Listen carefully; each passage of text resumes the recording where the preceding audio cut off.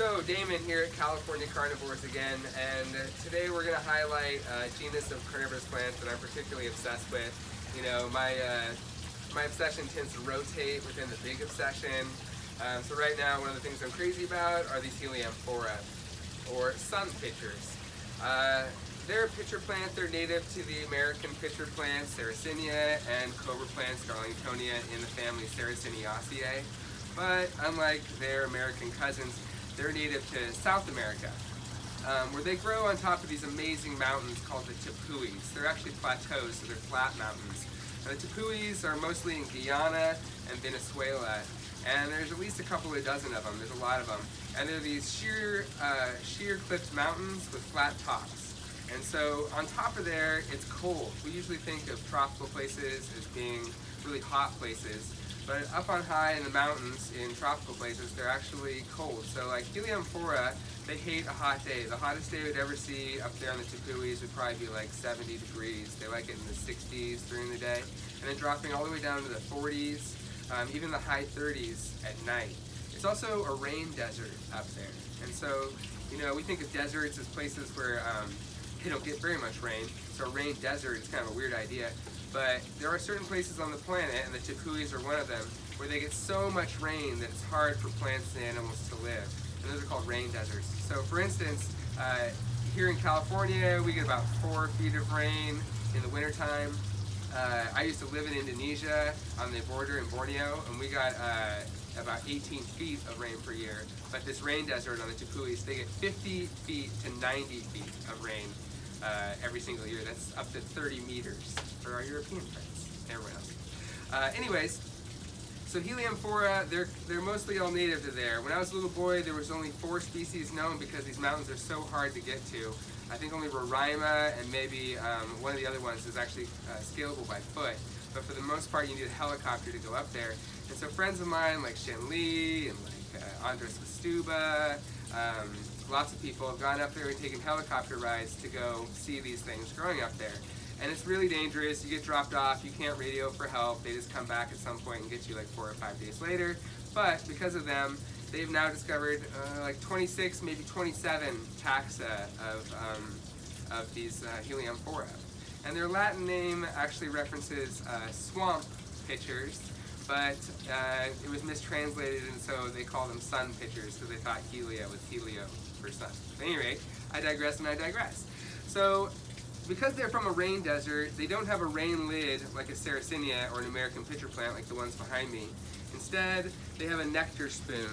And there's a little bit of nectar up underneath there, and this helmet kind of keeps it from being washed away by that copious amount of rain. They also have a different adaptation, and that's right in the front, about halfway up. There's a little slit that lets the water out so it never overflows and washes all the prey out. There's even little interlocking hairs down there across the slit that keep the insects in like a filter. Um, this is a big hybrid. So this is a, a heterodoxa by Minor. It was one of the first hybrids ever made. This is from my personal collection. I probably had it for like 20 years now without dividing it. And you can see it's probably, I don't know, two and a half feet across or something like that. Hundreds and hundreds of pictures on it. But it's a pretty easy one to grow. And the species are a little bit harder and more, probably a little more interesting. So we're gonna go over here to the rest of the collection and check out some other types um, right over here.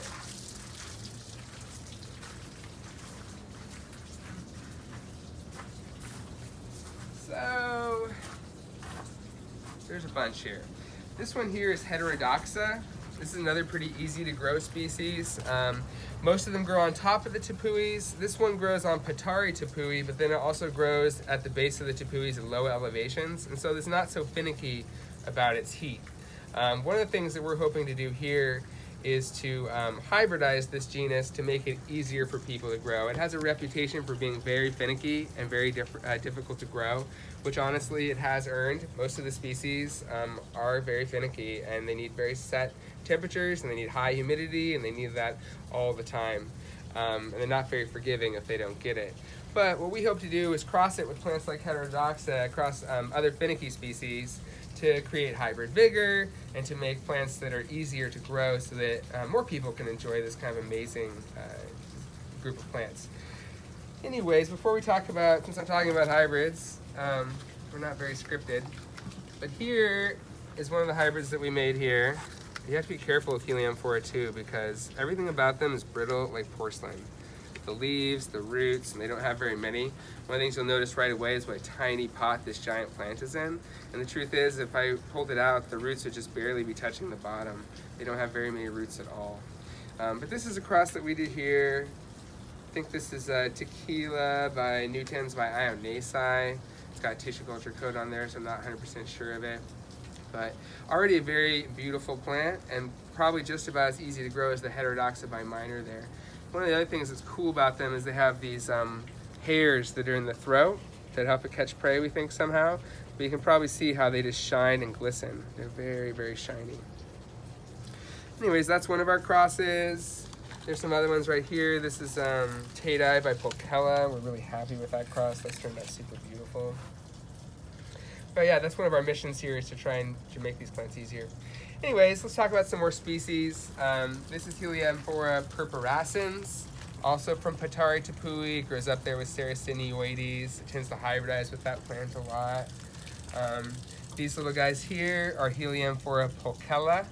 It used to be lumped in with minor a long time ago, but now people really sawed it up as its own species. There's several clones of pulchella here.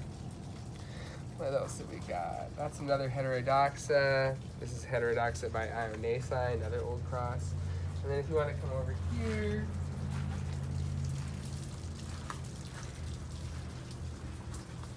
let's see. Parva out. This is Heliamphora parva. It's a very beautiful species, and it's covered in these uh, downy white hairs on the exterior. You can see that new picture coming out, like, looks really, really white and the whole plant is covered in those downy white hairs. It's very closely related to Tatei and Neblinae and that complex of plants, Ceracea. Um, there's another parva here. This plant here is Heliamphora ceracea. It's very, very rare in cultivation.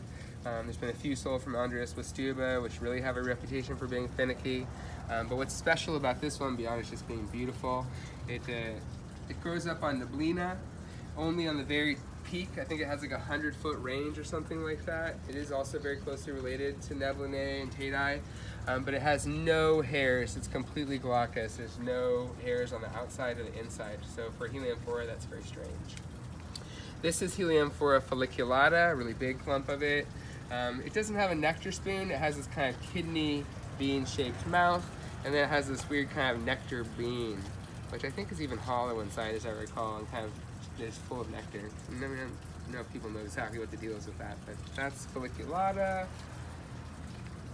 This is Heliamphora exappendiculata. That's a particularly beautiful, beautiful clone.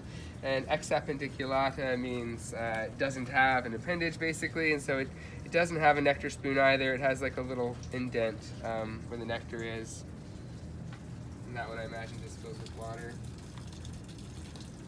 Right here is Neblinae from Avispa. Love that plant. It'll get even bigger. It has gold hairs and that just striking red, red stripe down the throat. Who would love that?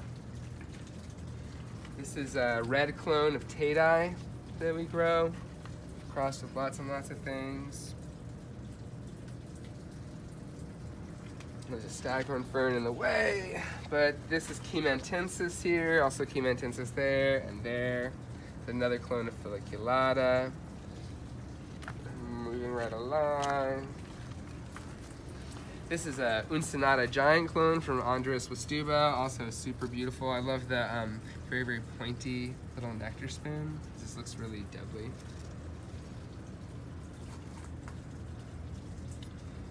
And down here we have some more hybrids that we've made. This is another one of the Tatei by Pulchella. I just love this plant. This is one of the best things that we've made here. It just has a wide open mouth and great color. That nectar spoon is just like crazy. Um, I'm really super proud of that one that we made.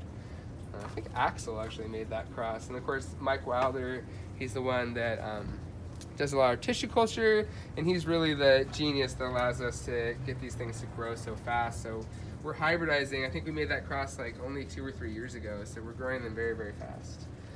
Um, here's a really beautiful Heliamphora ionasii. That's a wonderful species. It's named for the guide who helped them discover it, whose name was Jonas, and then they Latinized it all the way to Ionasii, which I wonder about. You know, I, I'd hate for someone to name something after me and then change it so much that you couldn't even recognize my name anymore. But anyway, it was named for their guide. And there's a really beautiful Heliamphora minor.